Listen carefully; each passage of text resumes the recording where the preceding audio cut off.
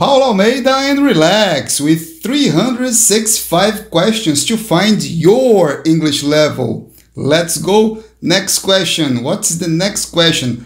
Whose shoes are these? Whose shoes are these? Égua do pezão, hein, meu irmão?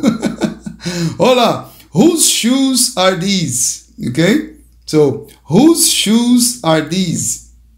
That's the question. Ainda estamos no A1, hein, pessoal? Nível internacional. Whose shoes are these? Let's go. Whose shoes are these? Whose shoes are these? Dá para saber? I have no idea. Can you give me a clue? I have no idea. Can you give me a clue? Né? É uma, uma resposta sincera, pessoal. Vocês vão olhar, você não sabe o nome da pessoa. Não sabe quem é? I have no idea. Can you give me a clue? Yeah? Dá uma dica aí, vai. Eu sou bonzinho, eu vou te dar uma dica, presta atenção aí. Yeah? Ó, ó, ó, ó. Ó. Can you give me a clue? Say, oh, I guess they're opera shoes. Te lembra o nome dessa moça? What's her name? What's her name? I guess they're opera shoes. I guess, I guess they're opera shoes. Huh? Or I can say, oh, I'm sure they're harmonicas. Yeah? Ópera é a prima dela. Vocês vão daqui a pouco ver a ópera, né? Oh, I'm sure these are harmonicas. I'm sure these are harmonicas. Very nice. Olha aí, pessoal uso do possessivo aqui, olha, operas shoes. Aqui o caso possessivo, eu coloquei o, o shoes, mas eu posso omiti-lo, né? Olha, I'm sure these are harmonicas. Ou seja, eu estou falando de shoes, olha a pergunta, whose shoes are these? Então, they are harmonicas, yeah? É o sapatinho dela, olha o sapatinho dela, ok? Uh, let's go. And now if I look, ó, They're harmônicas. Look at operas. They are different. Aqui eu chequei, olha, vi a ópera aqui. They are harmônicas. Look at operas. They are different. Ok? Olha os possessivos aí, pessoal. Possessive case na cabeça aí, ó.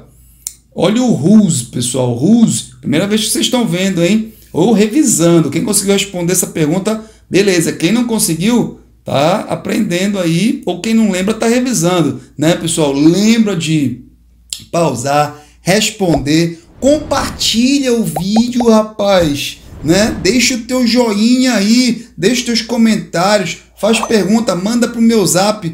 Vamos nessa, pessoal, olha, tem muita pergunta aí, nós temos um ano para cumprir isso aí, até Semana Santa do ano que vem, ano 2022, estamos em 2021, ok? Então, ó, They're harmônicas. Look at operas. They are different. Olha o pezinho de uma, pezinho de outra. They are red. Eles são vermelhos, mas são sapatos diferentes. Ok? Or definitely. Definitely. Repete, pessoal. Definitely. These shoes are harmônicas. Agora que tu vistes, né? Dá para responder isso aqui. Definitely. These shoes are harmônicas. Então, pessoal, quando vocês não sabem alguma coisa, ó, I have no idea. A gente já viu I don't know, né? Então pode ir usando isso aí no, no, na dinâmica aqui das nossas brincadeiras, ok? Very nice, very nice. Let's go. Ó, whose cowboy hat is that? Whose cowboy hat is that? Ah, agora tem aqui, olha.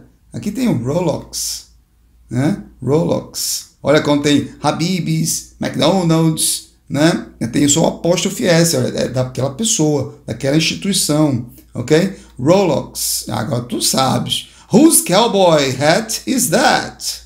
Huh? It's, ah, it's Rolex. Or it's Rolex cowboy hat. Olha aí, com a apóstrofe S, a gente pode omitir o objeto, né? Que está subentendido. So, it's Rolex. Or it's Rolex cowboy hat. Repeat, guys. Let's practice. Whose tabby cat is that?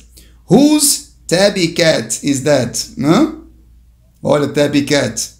Whose tabby cat is that? It's, oh, here you have the name, yeah? Harmonicas. So, say, ah, Paulo, it's not mine. It's harmonicas. Yeah? Oh, it's not mine. Olha aí. Mine, né? It's harmonicas. Okay? It's not mine. It's harmonicas. Very nice, very nice. And here, uh, whose shoes are those? Whose shoes are those? Yeah? Olha o those. Whose shoes are those? Olha os verbos to be no plural aqui, né? Aqui é singular, olha. Whose tabby cat is this? Demonstrativo no singular também. Whose cowboy hat is that? Demonstrativo e verbo to be no singular. E aqui veio para o plural. Né? São shoes. Ok? Whose shoes are those? Yeah? Whose shoes are those? Oh, here, oh, signs, yeah? Signs, signs, shoes. So you can say, ah, Paulo, there are signs. Mine are blue. Né? Se tu me perguntasse isso, eu ia responder isso aqui, meu sapato é azul, eu gosto de azul. I like blue. Ó, there are signs. Mine are blue.